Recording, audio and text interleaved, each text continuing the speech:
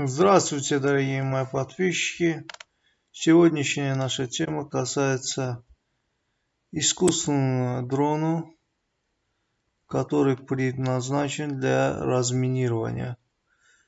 Как видите на экране, это дрон производства RPS Energy Ltd британского, британской компании.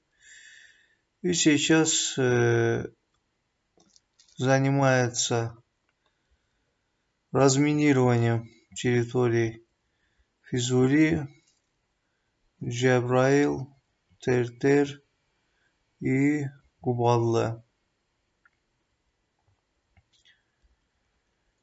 И с этим дроном, как вы знаете, Армения э, не дали карту чтобы была очищена территория от мин и Азербайджану э, пришлось покупать вот такие дроны. Почему эти дроны пользуются таким успехом? Британский специалист сказал, следующее. По словам, по его словам, компания, которая производит эти дроны, обрабатывается, то есть эти дроны обрабатывают, исследуют места с помощью э, искусственного интеллекта и при обработке данных анализируется один квадратный метр территорию за одну секунду. В ходе процесса анализируется, как видите на экране, 1,9 миллиона элементов и получается общая информация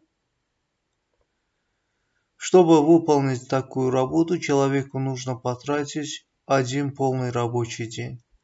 А этот дрон делает это за 90 минут. То есть за 90 минут делает работу, которую человек может делать только за один день.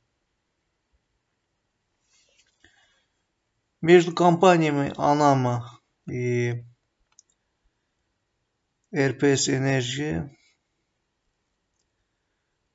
было э, соглашение в рамках проекта в прошлом году с использованием э, искусственного интеллекта были проанализированы 18 тысяч гектаров территории в Зангеланском, Физулинском, Джебраильском и Тертерском и Кубадлинском районах.